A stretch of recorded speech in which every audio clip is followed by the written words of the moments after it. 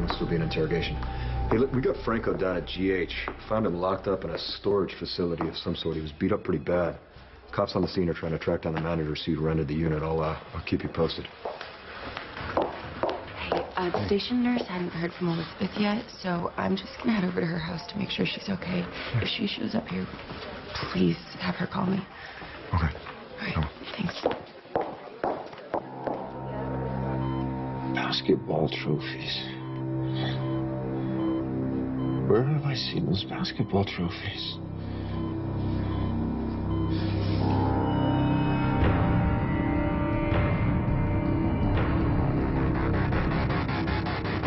The house. It was the house that Tom Baker was sharing with his brother.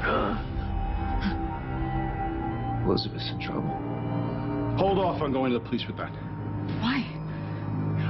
I should be the one to give it to them. After all, it belongs to my brother. Okay, fine. Then let, let's both go.